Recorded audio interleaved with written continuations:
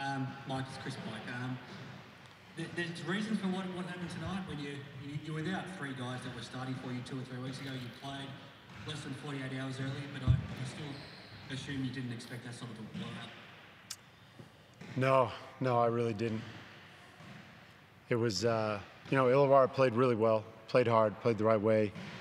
Um, Harvey got him going in that first half, and then in the second half they defended well and ran over the top of us. So uh, frustrating um, for everybody. Where, where do you think it went wrong? I mean, all, all you can do with this group, with the challenges you've had, is ask them to go out and compete. But you know, from your point of view, where did it go wrong, especially the, the last three quarters?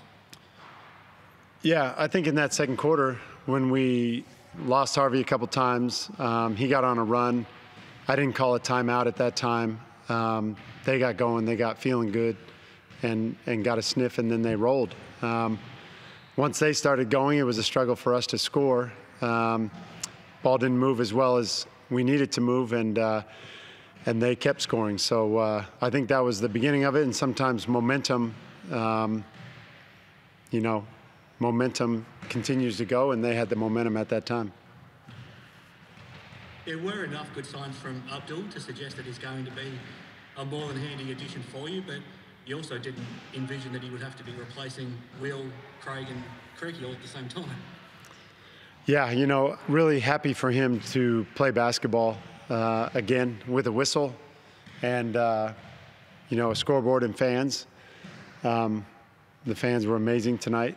He would have uh, he would have been pretty juiced just to be there, and uh, so happy for him. Uh, he's going to be a really good basketball player for us. He, he looks like at this level in the NBL, he can be a great athlete and help you push the pace at his size. Did you did you like the signs that you saw tonight? well, I didn't think he played, uh, and I'm sure he would tell you himself. I don't think he played great, but I I love the enthusiasm and the. He's a great talker within the group so far, from what I've seen. Um, so after one day of of kind of a little bit of training. Um, you know, just great to have him out there. And uh, and yeah, he's going to be really good. So I like the signs. Al, how are you feeling after what's been a pretty pretty hectic couple of weeks for, for, for your group?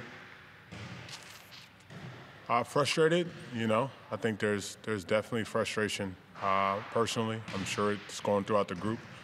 Uh, the last two games aren't who we want to be, and I uh, just don't think we we put the best effort that we could possibly put out there. And so obviously there's some stuff that we got to really work on and some some some looking in the mirror that we really got to do in order to try to turn this thing around. And um, we got some games coming up now and some opportunities to, like I said, to try to right the ship. And so definitely frustrated though.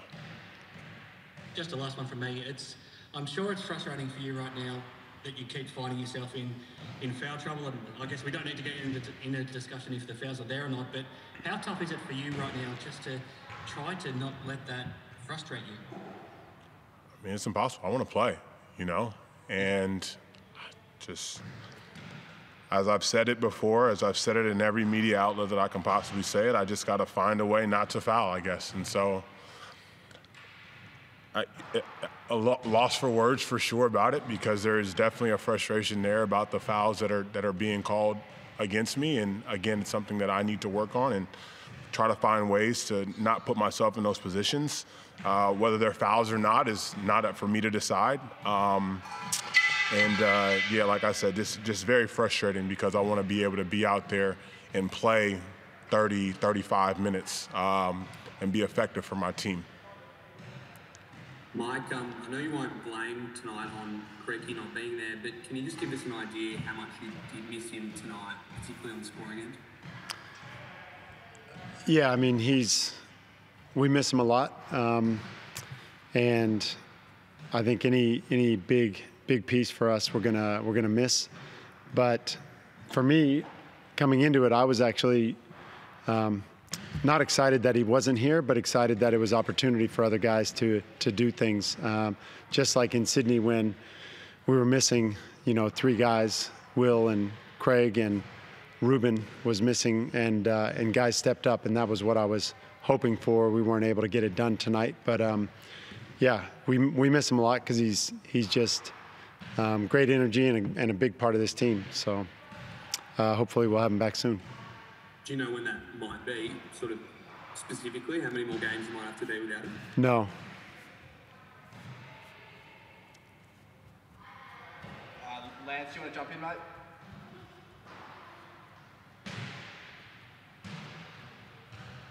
Hi, Phil. I was, uh, sorry, I'm just uh, adjusting to the Zoom. Um, can you just give us a bit of a diagnosis, Mike, uh, in terms of um, you know Creaky and just the update with his uh, with his injury? Yeah, I don't really have a, a timeline um, or anything official medically. Um, so I'm hoping to, to get something exact over the next day or two. You're going to appreciate the uh, extra um, days, I suppose, now between now and Cairns to uh, really adjust uh, what you need to do uh, you know, the next five days. For sure. Uh, we were excited to actually get a second game after um, losing to Melbourne United, and uh, and then we came in and and uh, didn't play to expectations. Uh, definitely our expectations, and uh, so yeah, we need to we need to look at it and uh, examine it. And we've already talked about it a little bit as a group, but uh, we have to get better and be better. There, there were some uh, positive periods during the game. You know, you, you stretched your lead out to seven at one point, um, but you fell away. Did you fall away because of uh, tiredness, or was there just, um, I suppose, it was run out of bodies late, late in the game, and hence why it blew out? Well,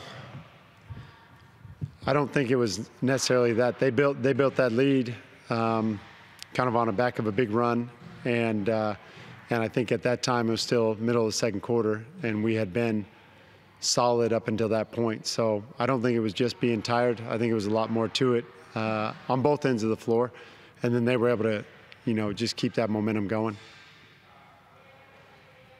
Thanks, Mike. That'll do, boys. Thank you very much. Thanks, everyone. Thanks, guys.